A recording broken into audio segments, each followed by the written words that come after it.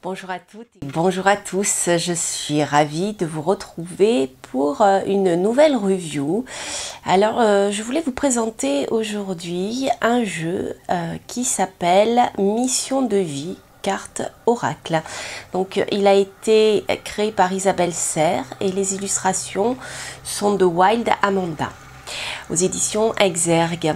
Donc il s'agit d'un coffret euh, dans un boîtier solide avec un vrai livret à l'intérieur. Euh, donc je vais vous montrer les cartes. Alors tout d'abord, euh, ce jeu a été pour moi une découverte, un petit coup de cœur en fait. c'était, j'étais attirée par ce jeu, je ne sais pas pourquoi, parce que euh, je suis plutôt tarot, comme euh, vous, avez dû le remarquer. Euh, également, je suis plutôt oracle, mais oracle dans l'esprit, petit le normand. voilà, oracle de saut, les, les, jeux comme ça avec des illustrations hein, simples qui, sont, qui sont très parlantes. Euh, donc j'avoue que c'était pas trop le genre de jeu qui m'attirait. Pourtant celui-ci euh, m'a appelé. Et voilà, je vais vous expliquer pourquoi finalement ça a été une heureuse, une heureuse découverte. Alors tout d'abord, je dirais, euh, ce qui m'a plu dans ce jeu, c'est l'esprit datation. Alors je vais vous montrer. Donc voici le coffret, le petit livret un petit livre en fait. Hein, voilà. Vous voyez, date, septembre, on a vraiment pas mal de pas mal d'esprit datation. Chaque carte porte en elle une date. Voilà, donc ça c'est vraiment, vraiment sympa parce que c'est vrai que euh, dans, le, dans le tarot où euh, on est souvent sur des trimestres, euh, même avec le petit le normand. Donc euh, les, notions de mois précises sont un peu plus compliquées euh, dans la cartomancie, ce qui est moins le cas en astrologie. Mais voilà, donc je trouve ça très très intéressant. Alors c'est ce qui m'a, je dirais, c'est vraiment ce qui m'a attiré. donc là, nous avons les cartes. Donc ici, vous voyez le dos. Donc les cartes sont assez grandes, hein, sont taille oracle normale, c'est-à-dire qu'elles sont un peu plus larges que le tarot. Euh, voilà, je vais enlever ça. Champ. Donc là, vous avez ici le dos que je trouve vraiment très très beau, avec le soleil, la lune. Et ce que j'aime bien aussi, qui est original, euh, je n'aime pas trop en général les bords, dorés, mais là, voilà, vous avez un bord vert métallisé. Je ne sais pas si on voit bien la caméra. Voilà, donc voici les cartes. Donc comme je vous le disais, vous voyez, vous avez en dessous euh, des dates. Donc là, nous avons mai, déjà, dans 6 mois, dans 15 jours, automne, un retard externe. Vous voyez, ça c'est vraiment intéressant, nouvelle lune. Voilà, donc euh, ça, je trouve que ces cartes sont excellente. C'est-à-dire que lorsque vous faites un tirage, si vous avez besoin euh, de compléter, vous avez toujours ce jeu pour vous aider à peut-être affiner une période. Euh, si vous avez euh, une datation sur trois mois par le tarot et vous avez une hésitation sur un mois précis, peut-être que ce jeu peut vous aider à, le compléter. C'est vraiment vraiment sympathique. Voilà. donc l'autre chose que j'ai trouvé qui m'a attiré, je vais dire, c'est les mots clés. Donc là, euh, pour chaque carte, nous avons euh, un mot-clé. Déplacement. Alors, le généreux du savoir, on y reviendra, c'est particulier. Aide d'une personne. Manque d'ancrage. Jalousie. Voilà. Donc, vous voyez, euh, le mot-clé déjà et la datation, c'est vraiment, vraiment sympa. Alors, personnellement, j'ai moins accroché sur les illustrations qui sont malgré tout très très belles. Euh, alors, euh, d'une manière générale, à part certaines comme celle-ci qui, peut euh, être parlante, j'ai eu beaucoup de mal à rentrer dans la symbolique. C'est-à-dire que, comme je vous le disais, je suis plutôt sensible aux illustrations comme le Petit Le Normand ou même le Mildred Payne Pocket Oracle où on a une illustration qui se raccroche à des archétypes qui parlent à tout le monde. Là, les illustrations sont un peu plus personnelles et moi, je, voilà, j'ai plus de mal à rentrer dedans. Donc ça, je dirais que c'est ce qui m'avait peut-être freiné au départ pour, pour le choisir. Euh, qu'est-ce que je voulais euh, vous dire d'autre? Alors oui, donc cette heureuse, cette, cette surprise, une fois que j'ai eu acheté le jeu, j'ai découvert qu'en fait il s'agissait euh, d'un oracle qui est axé sur le plan, sur le domaine Alors je vais vous expliquer un peu tout ça parce que je le trouve extrêmement bien fait. C'est-à-dire que d'une part, voilà, les approches des termes euh, donc vous voyez le déplacement, donc ça peut bien sûr, euh, vous pouvez l'utiliser sur euh, un autre sujet. Donc ça je vous en parlerai plus tard. L'aide d'une personne sur le plan professionnel toujours, le manque d'ancrage, pareil sur le plan professionnel. La jalousie sur le plan professionnel, les concurrents, le burn-out, vous voyez. le chaman, donc c'est pareil, ça c'est un, partie des cartes qui est un peu particulière, succès, abondance, voilà. Donc bien sûr, vous pouvez l'utiliser sur autre chose que le domaine professionnel. Mais là, euh, voilà, il, ce jeu se veut vraiment axé au niveau des mots-clés là-dessus. Donc ça peut être un peu restrictif, mais si vous avez besoin de compléter un tirage justement, comme je vous dis par le tarot, euh, qui euh, va vous renseigner de manière très précise, parce que le tarot va très très loin et très riche en symbolique, bien vous avez un, autre oracle complémentaire peut-être pour soit affiner, soit apporter des réponses complémentaires à votre domaine professionnel. Euh, que dire de plus? Euh, Ce qui est également intéressant, c'est que outre le fait qu'il s'agisse d'un oracle qui donne des mots-clés euh, et qui peut vous renseigner sur des domaines professionnels, il y a une notion que Isabelle Serre a appelée karmique. Donc ce sont celles avec les couleurs violettes. Donc je ne suis pas sûre que vous le voyez bien à la caméra, mais nous avons trois types de cartes. Nous avons un type de carte bleu nuit, comme le burn-out, qui va renvoyer à des choses en général plutôt négatives, à des choses qui vont empêcher euh, des avancements. Donc le violet va parler, je dirais, euh, plutôt euh, d'un lien karmique dans le sens où il va nous parler, elle l'a présenté comme ça en parlant de karma, mais euh, pour euh, utiliser un mot qui parle à, tout le monde, euh, je dirais peut-être qu'il va nous parler de potentialités innées que nous avons en nous et qui peuvent nous permettre bah, de partir sur la bonne voie professionnelle. Donc je vous montrerai tout ça tout à l'heure. alors dans les cartes positives, sinon voilà. Donc vous voyez ici, nous avons une couleur dorée. Et là, cela va nous parler bien sûr des aspects positifs des, euh, cartes. Donc voilà, nous avons trois couleurs. Une couleur qui parlera plutôt de l'orientation, je dirais, et euh, deux couleurs, une sombre, une claire, une positive, une négative, pour simplifier.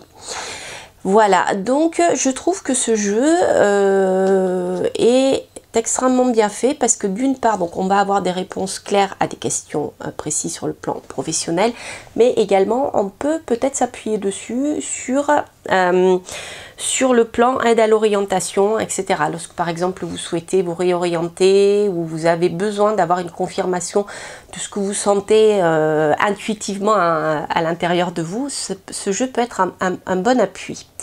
Voilà, donc je vous montrerai tout à l'heure quelques, quelques détails supplémentaires là-dessus. Donc voilà, ce que je voulais vous dire, c'est qu'en fait, Isabelle Serre va proposer dans ce jeu plusieurs tirages. Donc bien sûr, le tirage simple qui se fait euh, comme d'habitude en trois cartes. Euh, alors que vous pouvez ensuite agrémenter comme vous le souhaitez. Hein. euh, pouvez bien sûr tirer une seule carte, hein, comme un oracle pour, euh, pour les énergies de la journée, etc. Mais bon, voilà, le tirage à trois cartes est, euh, est quelque chose de sympathique que tout le monde connaît et qui est peut-être un des plus faciles. Euh, un des plus faciles. ensuite, elle propose une méthode pour dater. donc la méthode pour dater, je suis en train de regarder son livret qui ici, qui est ici. Euh, voilà, donc elle suggère de tirer une seule carte au niveau de la datation. Voilà. Si par exemple vous avez lors d'un tirage euh, évalué euh, les résultats d'une question, si le résultat est positif, vous pouvez tout à fait faire un tirage simplement pour dater. Ensuite, vous avez ici la réponse par oui ou par non. Alors là, euh, elle va s'appuyer sur la couleur des cartes.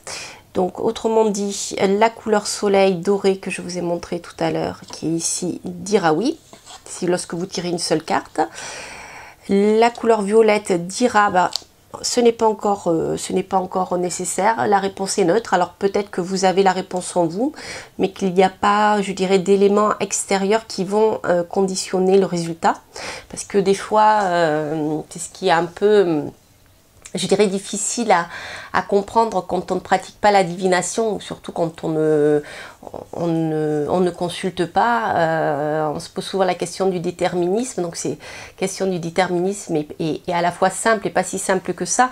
C'est-à-dire que bien parfois euh, euh, des éléments extérieurs qui sont complètement indépendants de votre volonté vont faire que ce que vous souhaitez faire à un moment donné ne se fera pas du tout ou ne se fera pas au moment où vous le souhaitez, ce qui est souvent le cas, euh, ou d'autres fois pas du tout. Et parfois vous avez, euh, je dirais, quelque chose qui dépend aussi de votre action à vous. C'est-à-dire que, je vais faire simple, mais ça va bien au-delà de ça. Si par exemple, euh, vous avez un tirage qui vous dit oui, vous allez réussir à vos examens et que, euh, je ne sais pas, vous décidez euh, d'arrêter de travailler, d'arrêter d'étudier en disant bah, bah, si ça doit se faire, ça sert à rien que je, je me fatigue, il y a peu de chances pour que ça marche, voilà, pour, vous donner, pour vous donner un exemple. Donc, donc la, la, la, méthode de tirage par oui ou par non peut être sympathique aussi, parce qu'au moins vous avez ben, oui ou non, hein, voilà, il n'y a pas à tergiverser. Donc je pense pour en revenir à la couleur violette, c'est que ici, euh, on a plus cette notion euh, de destinée, de choses qui dépendent aussi un peu de nous ou, non. Donc ça, on va, on, va le, voir ensemble après. Ici, euh, vous avez donc la couleur du soleil qui signifiera donc oui, et ça, la couleur euh, la couleur bleu nuit qui signifiera non. Donc si vous tirez une seule carte, bah, si c'est euh, une couleur dorée, la réponse sera oui. Alors bien sûr, vous pouvez dans un tirage regarder la majorité des cartes que vous avez. C'est-à-dire que si vous avez une tendance générale dorée, eh bien le tirage sera globalement plutôt positif. Et si vous avez une dominante euh, bleu foncé, le tirage sera majoritairement négatif, voire vraiment négatif. Voilà. Donc ça, c'est un petit peu comme dans le petit et le normand. Si vous avez une majorité de pique euh, pour une question amoureuse, vous pouvez bien imaginer que les choses ne seront pas simples. Euh, ou même si vous tirez les cartes toutes simples de cartomancie. Voilà, donc ça c'est un, une autre, euh, une, autre méthode de tirage. Alors après, l'autre méthode de tirage qui est très originale et euh, je me demandais de quoi il s'agissait lorsque j'ai acheté le jeu.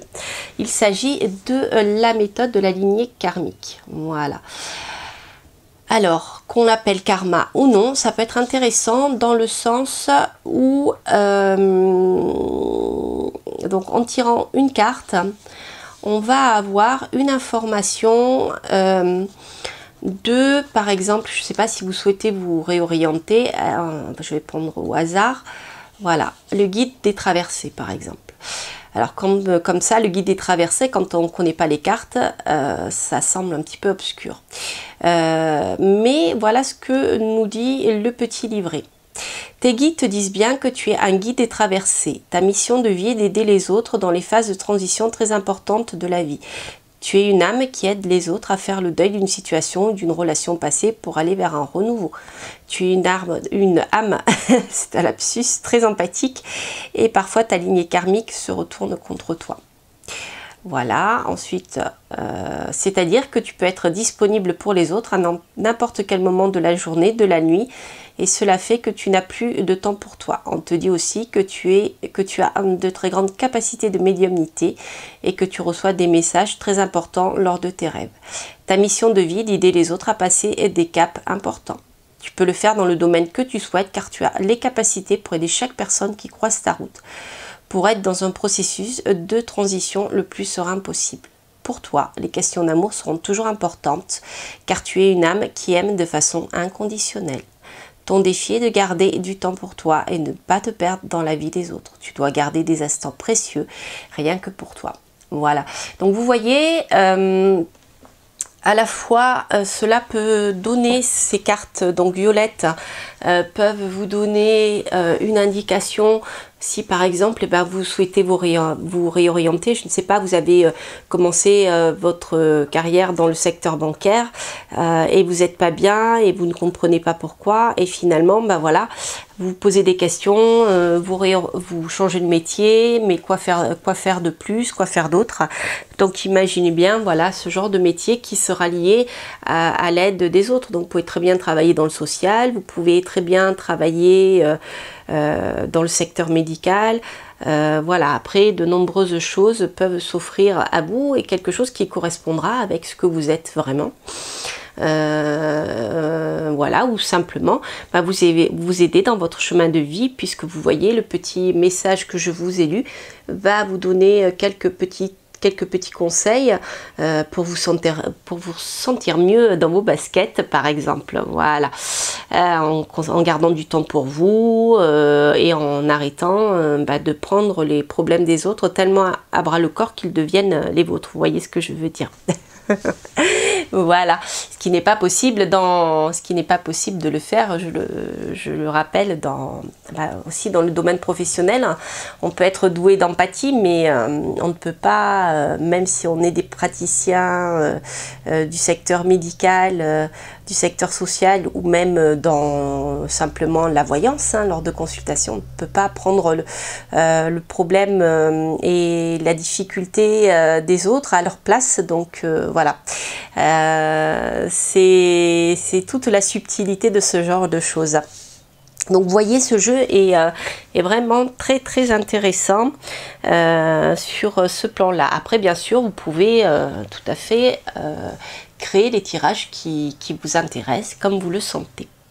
Voilà, donc là je vais vous montrer rapidement un petit tirage euh, que j'ai inventé. En fait, je suis partie euh, d'un tirage à trois cartes que j'ai après complété euh, au, gré, au gré de ma question pour voir ce, qui, ressortait et comment ce jeu vous parlait. Donc je vais vous montrer un petit tirage. Je vous retrouve tout de suite.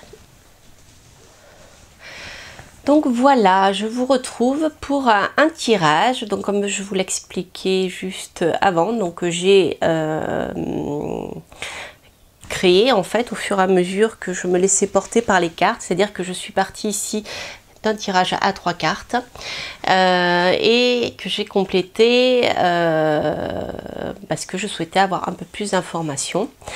Euh, mais euh, déjà, vous allez voir, le tirage en trois cartes était très parlant. Donc, euh, la question concernait justement un changement professionnel. voilà, donc c'était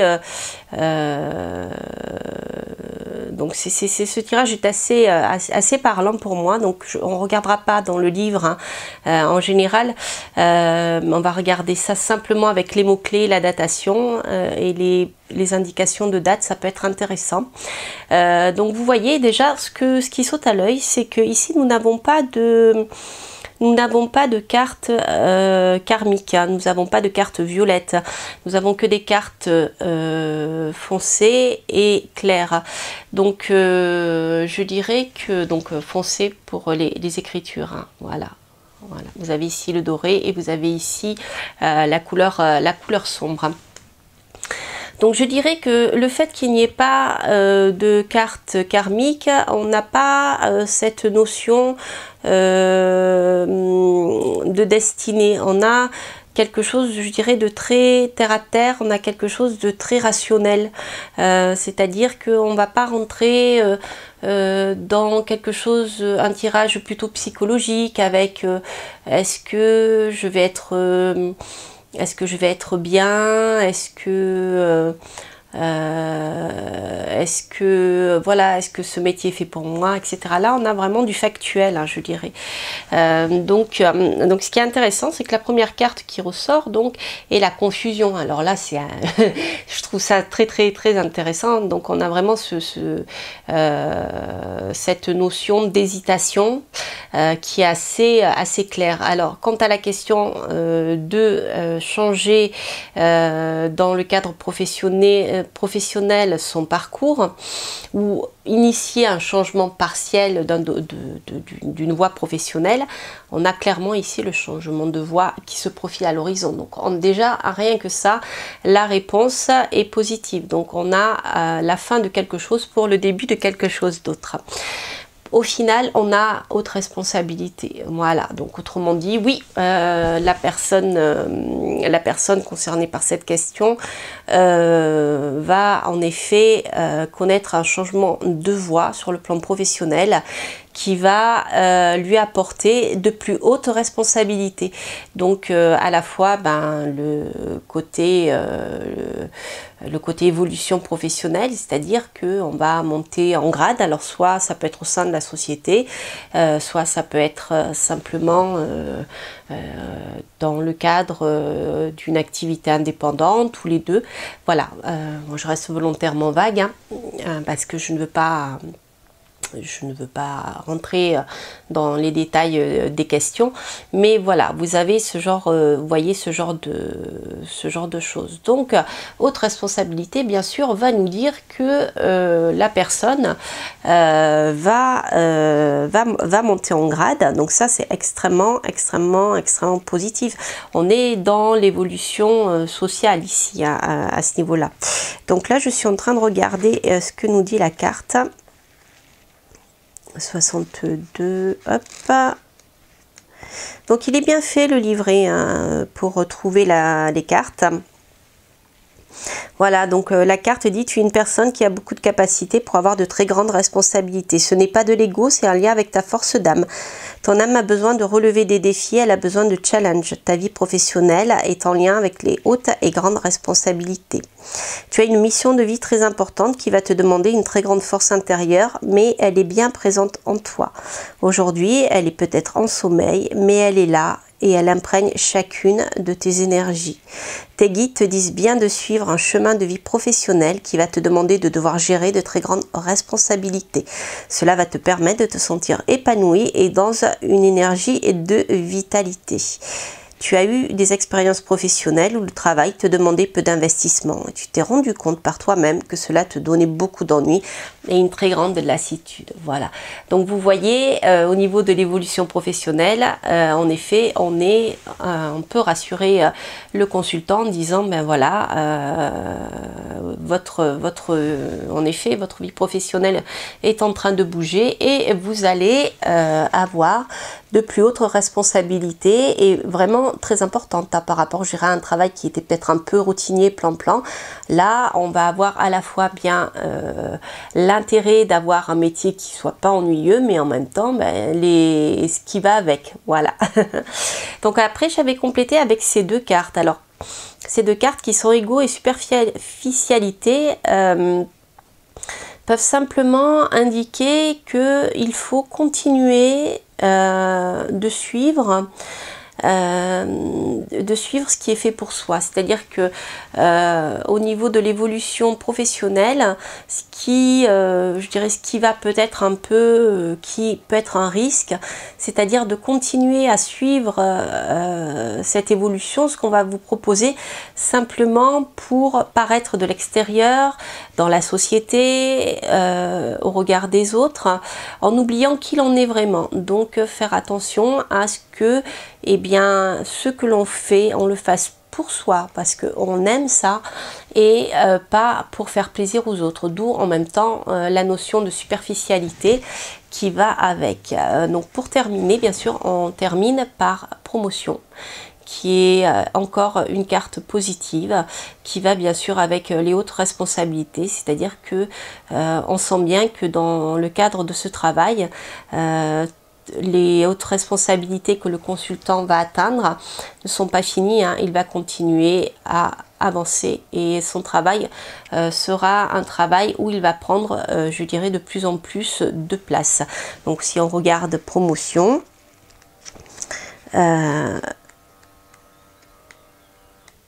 euh, promotion, Alors, voyons voir. Page, je regarde dans le petit livret. Voilà. Tes guides te disent bien que tu vas vers une avancée professionnelle et que tu peux considérer comme une promotion. Il y a une augmentation de tes revenus, mais aussi de tes responsabilités. Voilà, on revient à ce qu'on disait tout à l'heure. La promotion est là pour toi. Voilà, ça peut être une évolution dans ton entreprise actuelle, comme tout nouveau projet indépendant ou un autre poste dans une société différente. On te dit bien que tu vas avoir la reconnaissance du travail que tu as effectué et de tes capacités, de tes compétences. Elles vont être davantage mises en avant par cette promotion. Voilà, donc euh, là, on a vraiment, avec ces deux cartes, euh, vous voyez, on a les réponses qui donc euh, donnent une réponse claire à la question. En effet, voilà, il y a une évolution professionnelle qui se, profile à l'horizon. Euh, on va enfin reconnaître euh, les qualités du travail euh, bien de la consultante ou du consultant, et tout en mettant en garde ici contre bah, des écueils dont il faudra se protéger. Vous voyez, donc ce jeu est vraiment, moi il m'a bluffé. parce que quand je l'ai acheté, je, ne savais pas pourquoi il m'attirait, à part comme je vous l'ai dit pour les dates, et je trouve qu'il répond extrêmement bien extrêmement bien euh, au, ben voilà, une question euh, prédictive. Donc vous le savez, moi je suis plutôt dans, dans l'approche euh, prédictive des tirages. Et là, on est, je trouve qu'il parle, qu'il parle vraiment, vraiment, vraiment bien. voilà, mais écoutez, que vous dire de plus? J'étais très ravie donc de vous présenter ce jeu d'Isabelle Serre illustré par euh, Wild Amanda et qui s'appelle Mission de vie aux éditions Exergue. Voilà. écoutez, je crois qu'elle a euh, il y a d'autres jeux qui sont sortis bien sûr, mais il y a d'autres jeux qui vont sortir bientôt. Euh, donc si vous aimez le travail d'Isabelle Serbe, je pense que vous pouvez la suivre. Là, il y a des choses qui se profilent, des petites choses intéressantes qui se profilent à l'horizon. Voilà. Bien écoutez, chers amis, je vous souhaite euh, de passer de belles journées ensoleillées. Restez positifs, portez-vous bien et je vous donne rendez-vous pour de prochaines aventures. Bye bye